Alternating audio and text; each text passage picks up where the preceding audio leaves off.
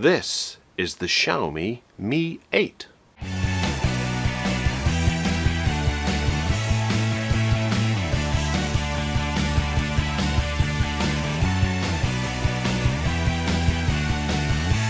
Okay, so coming in from Xiaomi, this is the Mi 8, one of their new flagship phones released here in the UK. This is the global version that we're looking at here, and it's a pretty impressive looking device just on the specs with a pretty attractive price tag attached to it.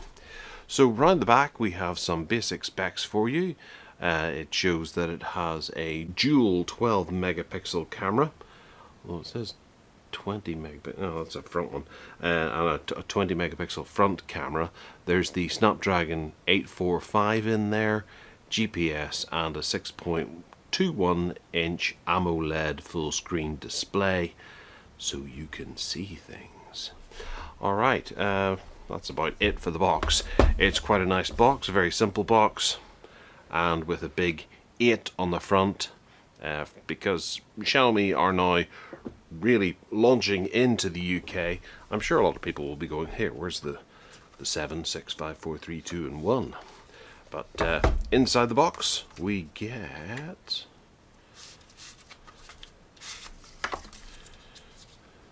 a USB Type-C to 3.5 millimeter dongle.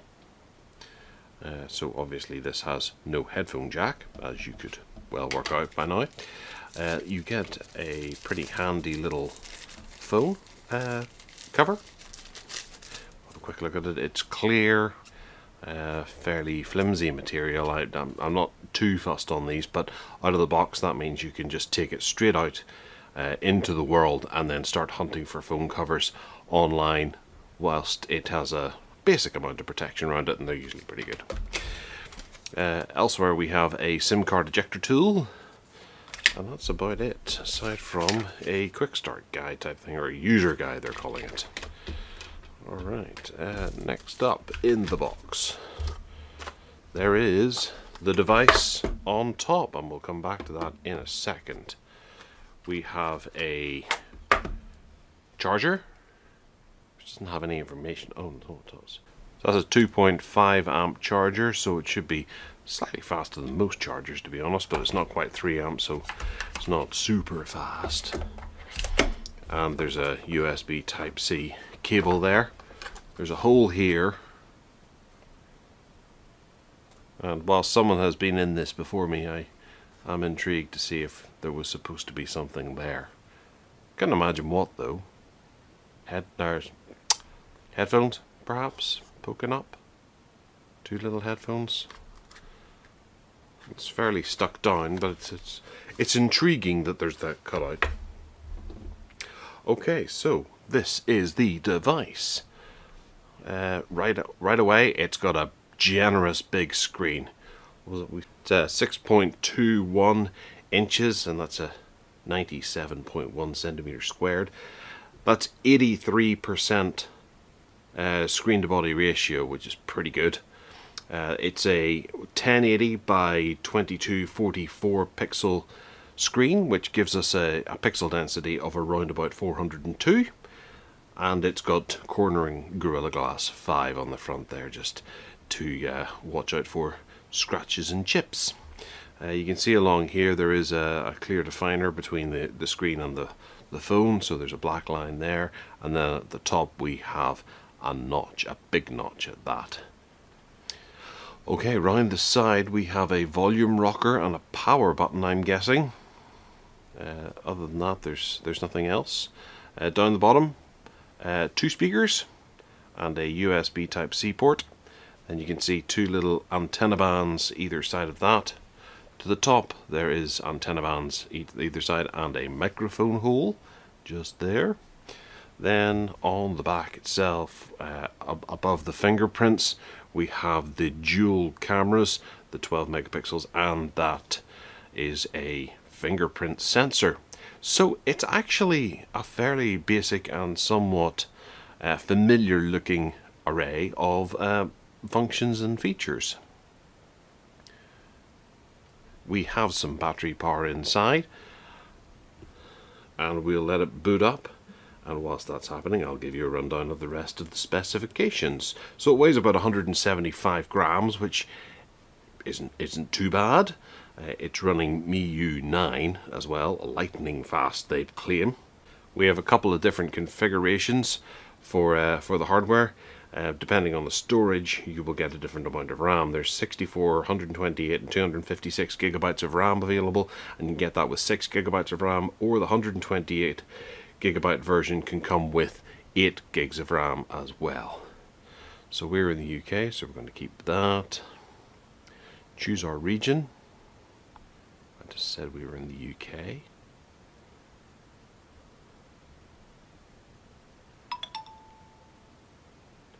and already it's a nice little uh, uh, marker there shows what type of network that you might be connecting to. It's quite handy I suppose. And that says online we have to accept some terms and conditions looking for a SIM card which I obviously haven't put in checking for updates straight away and we'll go for a fresh start. The screen is very nice uh, initially.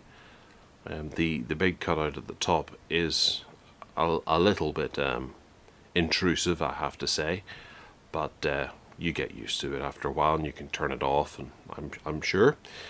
So we'll not add any more email accounts or whatever. And we have Mi Cloud uh, iCloud uh, syncs photos, contacts, call history, messages across devices. Doesn't have any information about how much space it gives you off the bat. It's probably a few gigs if anything. And then put in your phone number for your My account. We'll do that for the full review. We'll just skip it for now. We can set up fingerprint or on-screen lock. We'll just basic go for basic pattern and remember your password.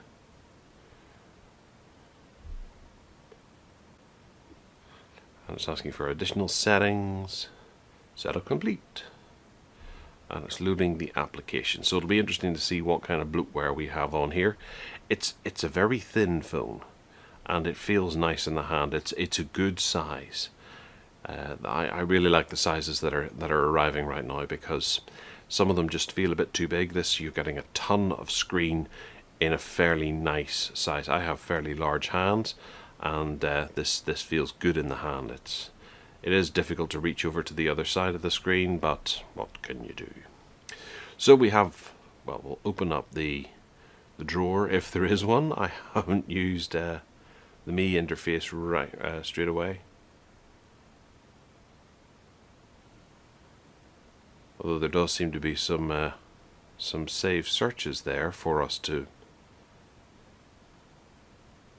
to, to play with.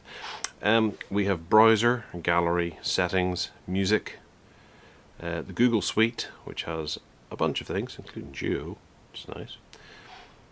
Uh, security, uh, to grant access and all that kind of stuff that allows you to clean things up, boost the speed, security scan and the battery usage figures. Then there's deep clean and things like that. Looks a bit like it might be Cleaner Master, but who knows. Then we have some basic tools.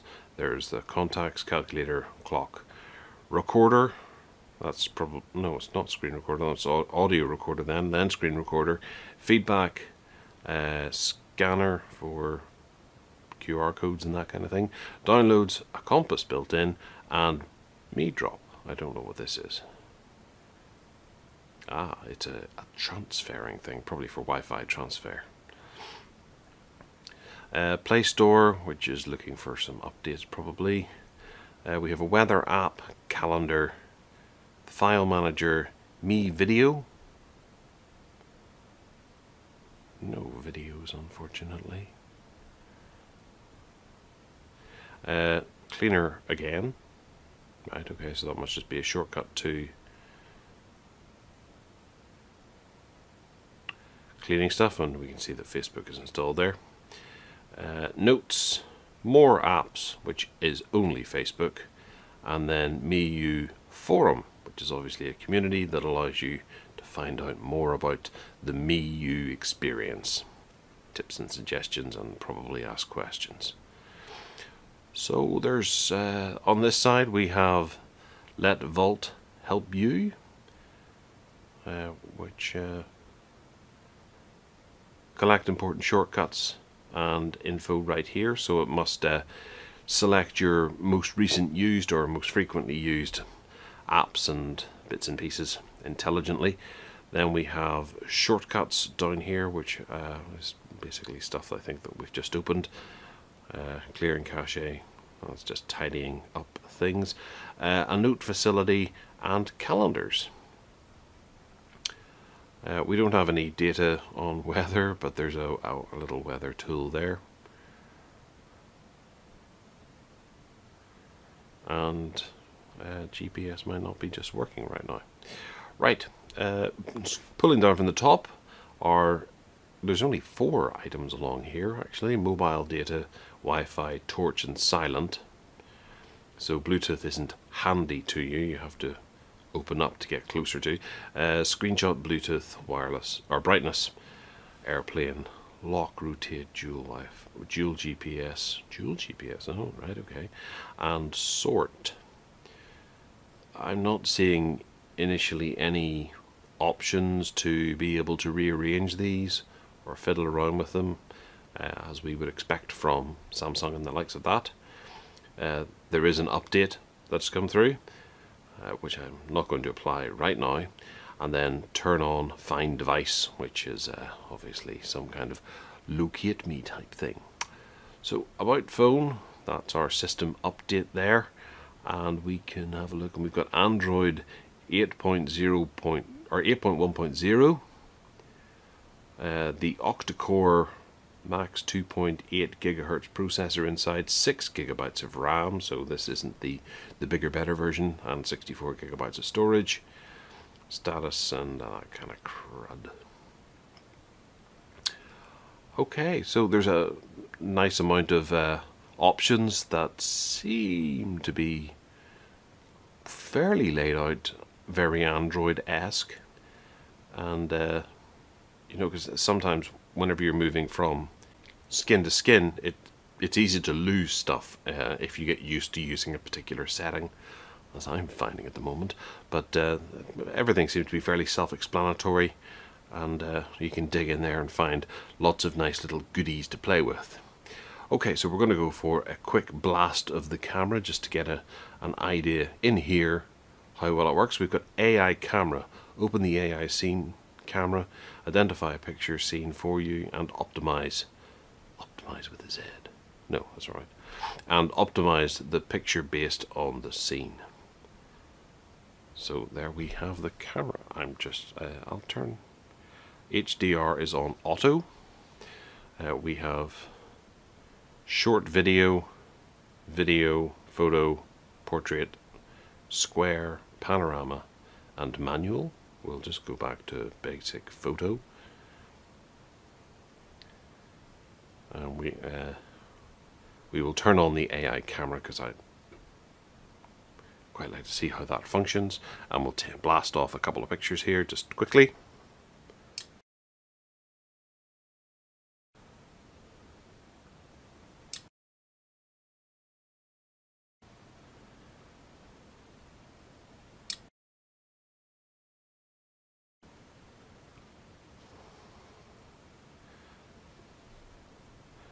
Have a look, quick look to see how well those worked out a little blurry. Uh, there's there's some shadows and things there that are that feature uh, quite heavily in between the, the, the buttons. It actually has a quite a nice effect. Uh, but the letters are actually blurry, which is a bit of a shame. It it's not exactly low level light, but uh, I suppose it could be better. Um, whereas looking at the text here, it's okay. I've seen better, uh, although I have noticed that down in the bottom corner there is a shot on Mi 8 AI dual camera. So the text there we go Force 10 from Navarone does look a little bit blurry although looking through the viewfinder it actually looks quite crisp and then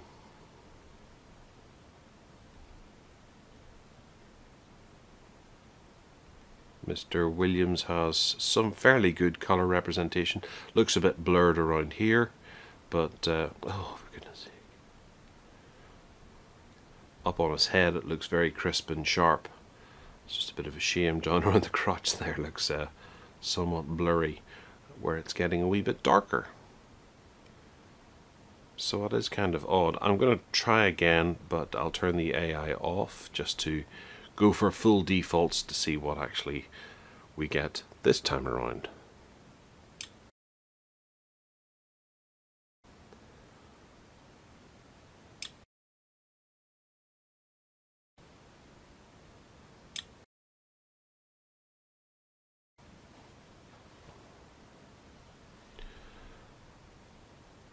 and the text is very crisp, very sharp. That that's that's much better.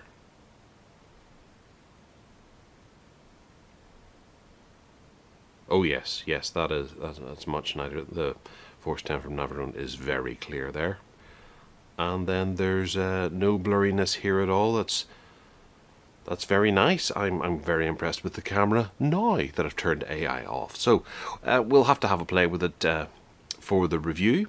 And one thing I would like to test just straight away is they don't give us any music at all. I want to see if that's stereo speakers or what.